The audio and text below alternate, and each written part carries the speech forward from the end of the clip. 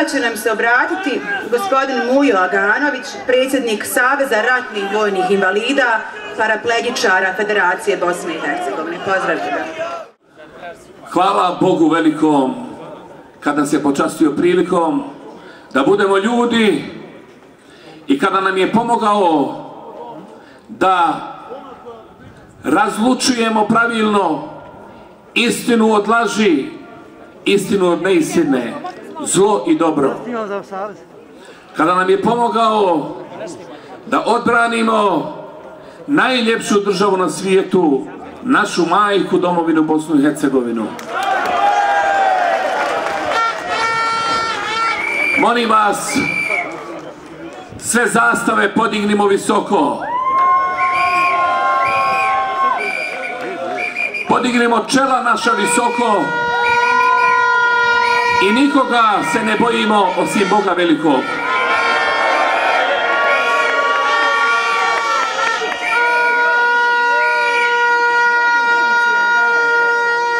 Do danas mi smo pružali ruke i govorili i dalje će ostati ispružene da pomognemo da izgradimo jednakopravnu građansku funkcionalnu državu Bosnu i Hercegovinu. Ali od danas one koji se suprostavljaju toj ideji i tome uzvišenom cilju upozoravamo da njihova priča neće proći.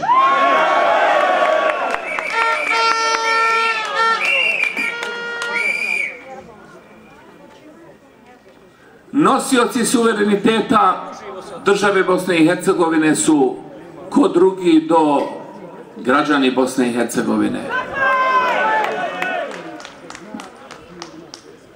Nosioci suvereniteta Bosne i Hercegovine nisu ni Beograd, ni Zagreb, a ni Kristijan Schmidt.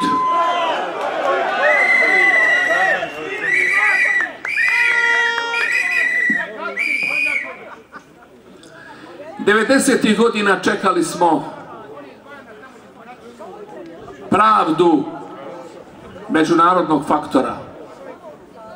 Uvijek kažemo tamo ima jako dobrih ljudi i mi ih poštujemo i respektujemo, ali ima i oni koji su nas držali u redovima za klanje i silovanje i masovne grobnice i u logorima.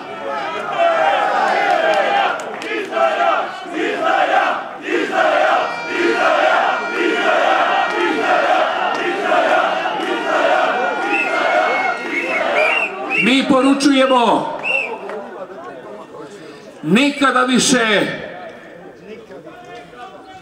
pošteni građani Bosne i Hercegovine neće čekati u redovima za klanje i silovanje. Nikada više.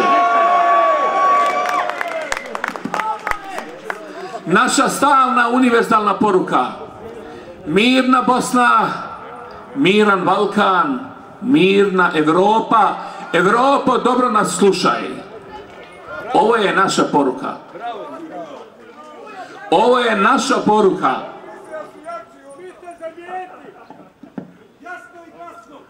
Poslije Boga velikog nema jače sile od naroda, a to potvrđuje i ovaj današnji skup.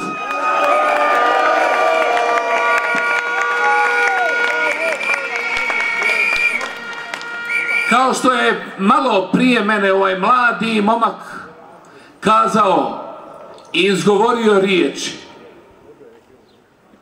Mi poručujemo neprijateljima mira, neprijateljima pravde i neprijateljima Bosne i Hercegovine. Bosna i Hercegovina do dana sudnjeg ima i imat će sinovi i kćeri koji više za pravdu i građansku državu Bosnu i Hercegovinu više vole smrt, već što neprijatelji mira vole život.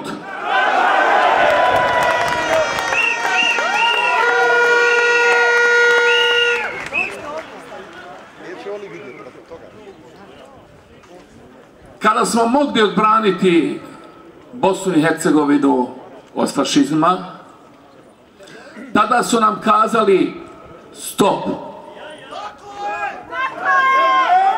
Dejtonski mirovni nesporazum. Tada su nam Sjedinjene države i Europa kazali mi garantujemo njegovu provedbu. Ali oni su svoje obaveze koje su preuzeli prepustili Zagrebu i Beogradu.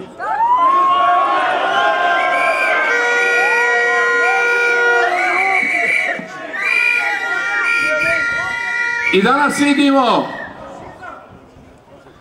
da se uvode sankcije pojedincima u entitetu pojedintovno nazvan Republika Srpska, a istovremeno se od Evropske unije obećavaju institucijama ovog entiteta financijske pomoći u stotinama miliona eura.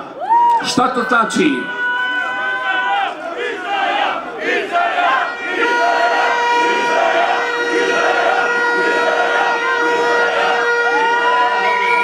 I još nešto. Institucije ovog entiteta, odakle Milorad Dodik crpi uporište da poziva za disoluciju i uništenje države Bosne i Hercegovine. To je sporno. Institucijama entiteta ovoga treba uvesti sankcije, a ne Miloradu Dodiku. Tada će Dodik biti riješen. I još nešto. Mi smo se uvjerili da legitimno predstavljanje znači oduzimanje prava narodu koji broji preko 50% u ovoj državi i građanima Bosne i Hercegovine svih nacionalnosti koji razumno i zrelo razmišljaju da grade građansku državu Bosne i Hercegovinu. To je legitimno ono na što nas poručuju politike koje osporavaju građansku državu Bosne i Hercegovine. E, neće proći. Ne može to. I za kraj, i za kraj, molim vas, posebno pozivamo medije. Vi koji ste ovdje i koji niste ovdje, vi ste zajedno sa nama odgovorni za svako dobro i zlo u ovoj državi. To morate znati vi iz medija posebno. Od vas najviše zavisi koliko ćemo dobra učiniti i koliko ćemo zla spriječiti. Ovdje ću završiti. Nihad, naš dobri Nihad Aličković, danas je u Turskoj, pomaže ljudima koji su pogođeni od zemljotresa. Prenio je svoje selame i pozdrave, pozdravlja ovaj skup i podrške za državu Bosne i Hercegovine. I za kraj,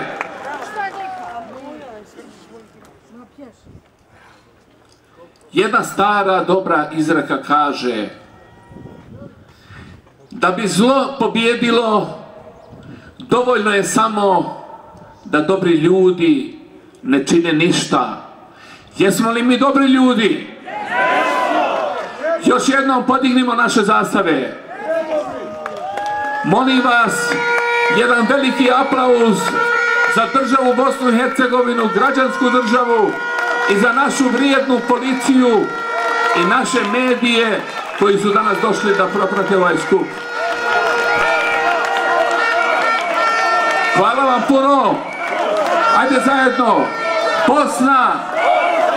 Bosna! Bosna! Bosna!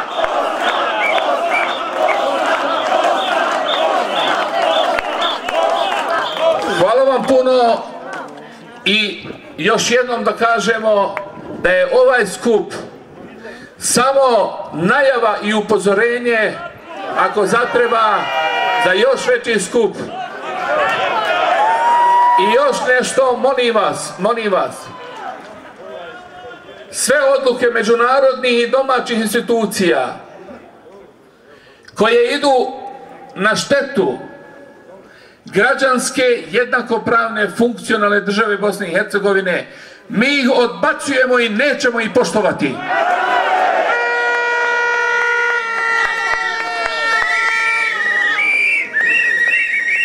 Hvala vam puno.